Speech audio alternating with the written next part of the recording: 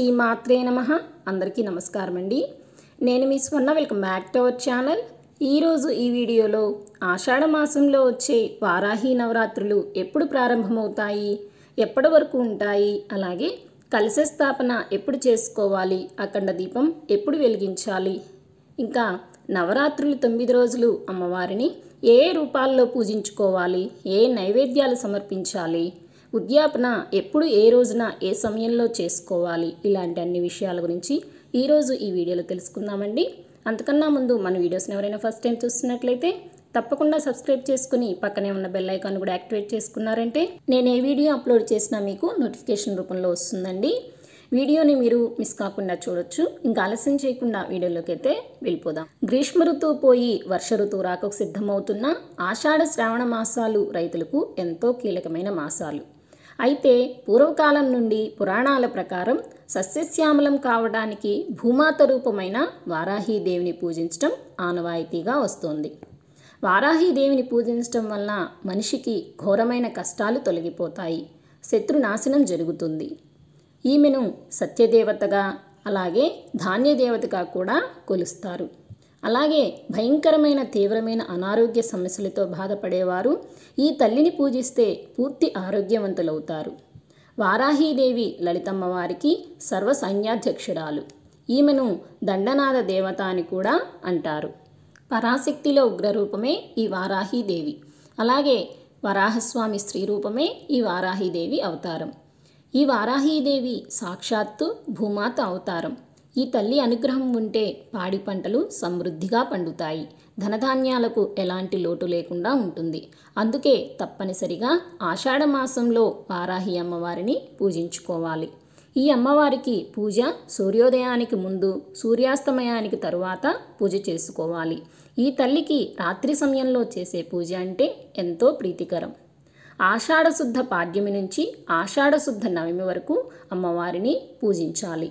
ఈ నవరాత్రులను గుప్త నవరాత్రులు అని వారాహి నవరాత్రులు అని కూడా అంటారు. ఇంతటి శక్తివంతమైన ఈ వారాహి నవరాత్రులు రెండు వేల ఇరవై మూడవ సంవత్సరంలో ఆషాఢగుప్త నవరాత్రులు జూన్ పంతొమ్మిదవ తేదీ సోమవారం ఆషాఢ శుద్ధ పాడ్యమితో ప్రారంభమై జూన్ ఇరవై ఏడవ తేదీ మంగళవారం నాడు ఆషాఢ శుద్ధ నవమితో ఈ నవరాత్రులు అనేవి ముగుస్తాయండి.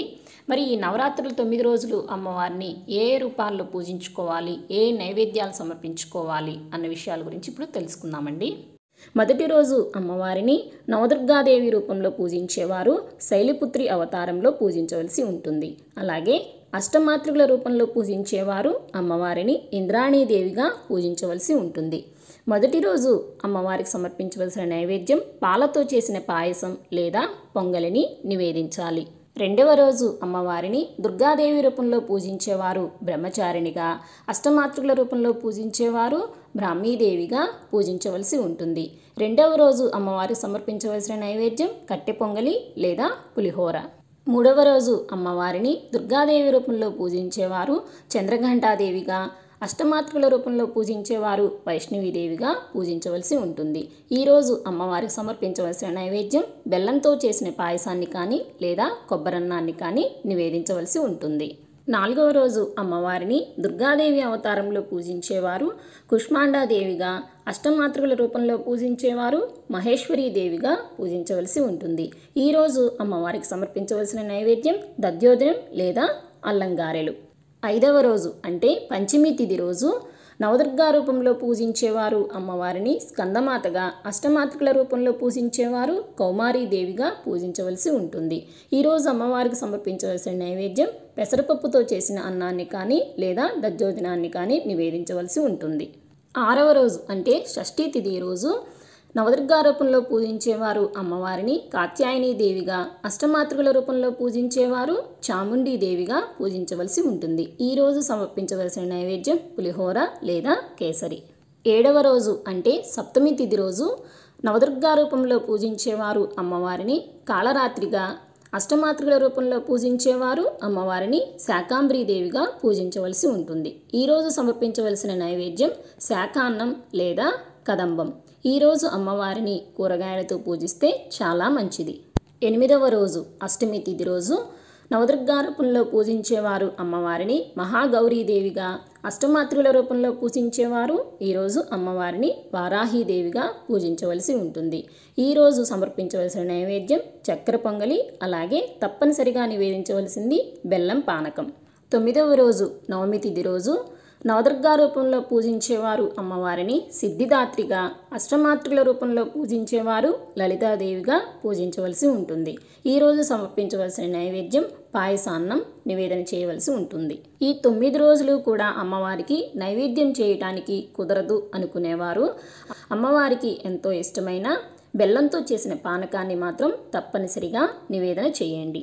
ఎవరైతే ఈ నవరాత్రుల్లో కలశ స్థాపన చేసి అఖండ దీపం పెట్టుకుని పూజ చేసుకోవాలనుకుంటున్నారో వారు ఆషాఢ శుద్ధ పాడ్యమి రోజున అంటే జూన్ పంతొమ్మిదవ తేదీ రోజున సూర్యోదయానికి ముందే కలశ స్థాపన చేసుకుని అఖండ దీపాన్ని వెలిగించుకుని పూజను అనేది ప్రారంభించుకోవాల్సి ఉంటుంది. మరి అమ్మవారికి ఉద్యాపన ఎప్పుడు ఏ రోజున ఏ సమయంలో చేసుకోవాలి అని అంటే ఈ సంవత్సరం ఆషాఢ గుప్త నవరాత్రులు నవమి రోజున అంటే జూన్ ఇరవై ఏడవ తేదీన మంగళవారం వచ్చిందండి. కాబట్టి ఆ రోజున ఉద్యాపన అనేది చెప్పకూడదు కదా. ఎప్పుడైనా సరే మంగళ శుక్రవారాలలో పూజ చేసుకున్న కలశాన్ని కానీ పీఠాన్ని కానీ కదిలించకూడదండి. కాబట్టి మరుసటి రోజు యథావిధిగా మరలా పూజ అనేది చేసుకొని పీఠాన్ని కానీ కలశాన్ని కానీ కదిలించుకోవాలి. కాబట్టి ఆషాఢగుప్త నవరాత్రుల్లో వారాహి అమ్మవారికి ఉద్యాపన జూన్ ఇరవై ఎనిమిదవ తేదీ బుధవారం రోజున అంటే దశమి తిథి రోజున చేసుకోవాలండి.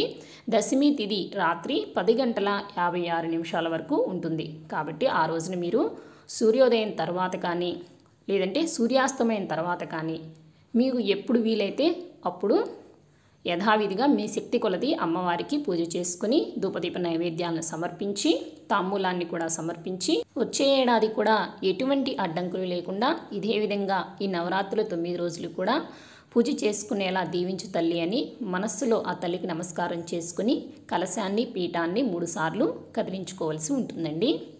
ఫ్రెండ్స్ ఈరోజు ఈ వీడియోలో ఆషాఢ మాసంలో వచ్చే శ్రీ వారాహీదేవి నవరాత్రుల ప్రారంభ మరియు ముగింపు తేదీలు అలాగే కలశ స్థాపన అఖండ దీపం ఏ సమయంలో వెలిగించుకోవాలి? ఉద్యాపన ఏ సమయంలో చేసుకోవాలి? అలాగే తొమ్మిది రోజులు అమ్మవారిని ఏ రూపాల్లో పూజించాలి? ఏ నైవేద్యాలను సమర్పించాలి? ఇలాంటి అన్ని విషయాల గురించి తెలుసుకున్నాం కదండి.